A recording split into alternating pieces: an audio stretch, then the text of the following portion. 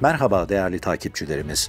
Bizlere destek olmak için kanalımıza abone olup bildirim zilinizi açmayı unutmayınız.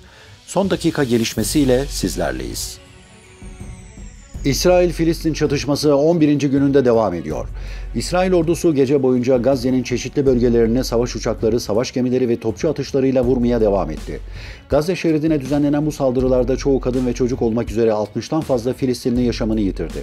İsrail ordusunun dün Gazze'nin kuzey kesiminde Es-Saftavi bölgesindeki saldırılarında bir gazeteci daha hayatını kaybederken 7 Ekim'den bu yana Gazze şeridinde öldürülen gazeteci sayısı 13'e çıktı. 20'den fazla basın mensubuysa bu saldırılarda yaralandı. Yediot Ahrot gazetesine göre İsrail ordu sözcüsü Lübnan topraklarındaki Hizbullah'ın askeri hedeflerine saldırdıklarını da duyurdu.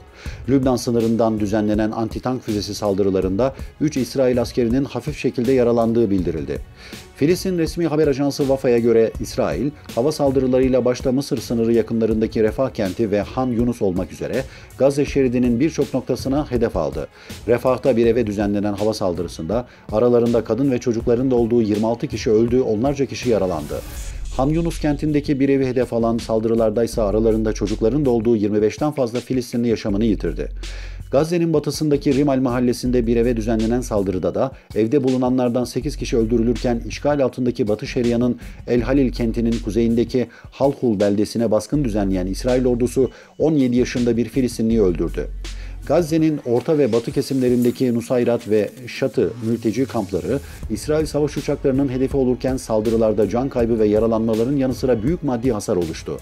Ayrıca İsrail'in abluk altındaki Gazze şeridinin elektriğini kesmesi ve yakıt girişine izin vermemesi nedeniyle Gazze'deki Türkiye-Filistin Dostluk Hastanesi'nin hizmetlerinin büyük kısmının durma noktasına geldiği bildirildi.